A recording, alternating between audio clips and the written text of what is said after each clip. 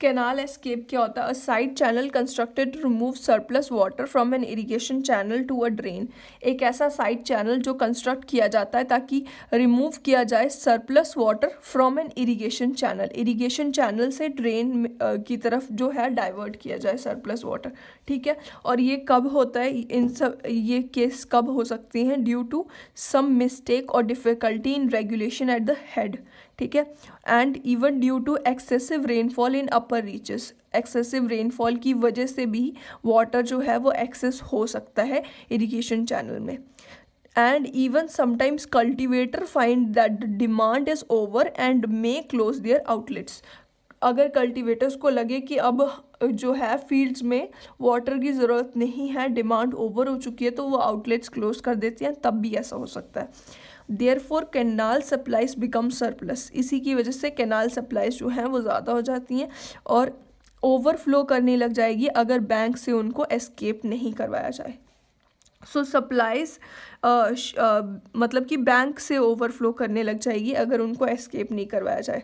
Bank के ऊपर से वो पानी निकलना शुरू हो जाएगा। So supply shall be regulated और स्टॉप्ड फ्रॉम द हेडवर्क्स तो कुछ मतलब कि हमें ये करना पड़ेगा हेडवर्क से ही उस सप्लाईज को रेगुलेट प्रॉपरली करना पड़ेगा या स्टॉप करना पड़ेगा जब डिमांड उसकी ओवर हो जाती है। ठीक है? और ये but felt only after a certain time कुछ टाइम बाद ही ये फील होगा। हमेशा नहीं ऐसा लगेगा कि ज़्यादा हो गया पानी। टू अवॉइड डैमेज अगर कभी कभी क्या होता है कि बहुत ज़्यादा पानी आ जाएगा या ये सब एक्सेस में हो जाएगा तो इसकी वजह से डैमेज भी हो सकता है। तो डैमेज को अवॉइड करने के लिए इमीडिएट एक्शन लेना पड़ता है और वो एक्शन किस चीज़ से लिया जाता है? सरप्लस वाटर एस्केप जिसको हम कैनाल एस्केप बोलते हैं। इसको हम सरप्लस वाटर एस्केप भी बोल सकते हैं, ठीक है? और ये इंपॉर्टेंट कब हो जाता है? जब breaching occurs in canal breaching क्या है कि ब्रेक डाउन मतलब कि कैनाल्स में कहीं जो है, थोड़ा कहीं स्ट्रक्चर जो है वो ब्रेक डाउन होना शुरू हो जाए या कहीं से दरार वगैरह कुछ आ जाए तो वो उस टाइम पे ये बहुत ज़्यादा इंपॉर्टेंट हो जाता है। Therefore canal escape must be provided at regular intervals ये रेगुलर इंटरवल में होना बहुत ज़्यादा ज़रूरी है। अब types of canal escape canal escape जो है, दो टाइप्स के होते हैं। एक सबसे पहले तो वियर टाइप वियर टाइप में क्या है? The crest of the weir wall is kept at R L equal to canal F S L अब ये जो है वियर वॉल जो है, इसकी ये क्रस्ट है। तो इसका जो आर एल है, वो कहाँ पे रखा जाएगा? हमारे कैनाल एफ़ एस एल तक। ठीक है? कैनाल एफएसएल है और ये ये क्रेस्ट वॉल है, ठीक है? यहाँ तक है। अगर पानी जो है when water level rises water का लेवल सपोज़ यहाँ तक हो गया। अगर राइस करेगा एफएसएल से ऊपर तक इट गेट्स एस्केप्ड अब ये राइस कर गया, यहाँ तक सिर्फ़ क्रेस्ट की वॉल है तो ये यहाँ से निकल के चला जाएगा एस्केप कर जाएगा, ठीक है? ये हो गया।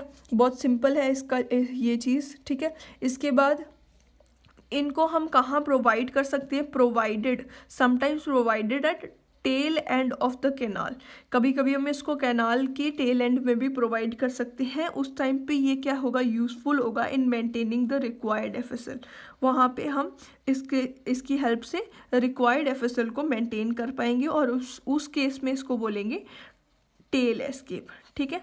ये हो गया हमारे पास वियर टाइप इसके बाद सेकेंड टाइप है रेगुलेटर टाइप या फिर स्लूज टाइप।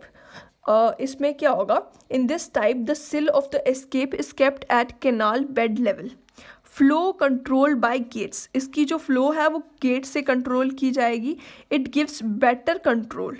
Gates की वजह से ये कंट्रोल बेटर कंट्रोल कर सकते हैं इसको। और can be use for completely emptying the canal इस कैनाल को हम पूरी तरह से इनकी, इस रेगुलेटर टाइप की हेल्प से हम पूरी तरह से एम्प्टी कर सकते हैं। रेगुलेटर टाइप में be constructed for the purpose of scouring of excess bed silt deposited in the head reaches उस केस में हम इसको बोलेंगे स्कोरिंग एस्केप और ये इसकी डायग्राम है।